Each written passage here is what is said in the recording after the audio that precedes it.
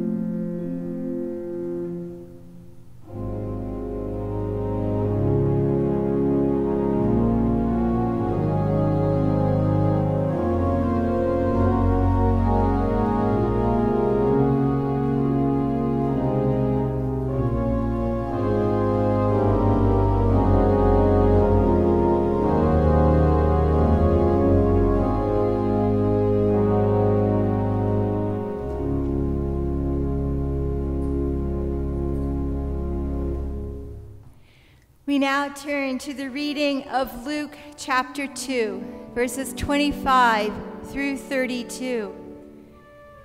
There was a man in Jerusalem whose name was Simeon.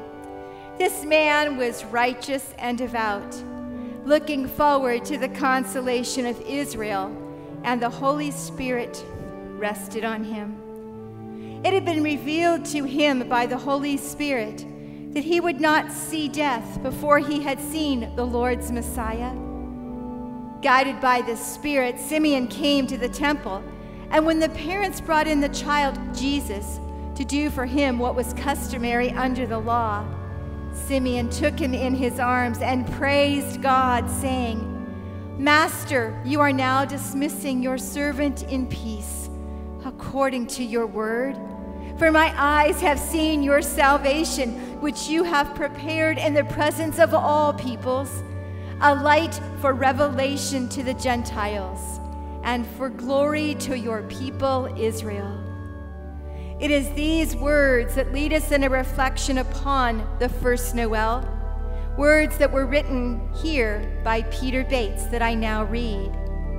In today's carol and scripture lesson, we have two examples of who brings people to Jesus. The carol tells the story of how angels brought the news to the shepherds and brought them to the newborn child. This scripture lesson takes us 40 days into the future when Jesus' parents bring him to the temple for the rite of purification. And he's met by Simeon, who was led there by the Holy Spirit. Who brought you to Jesus?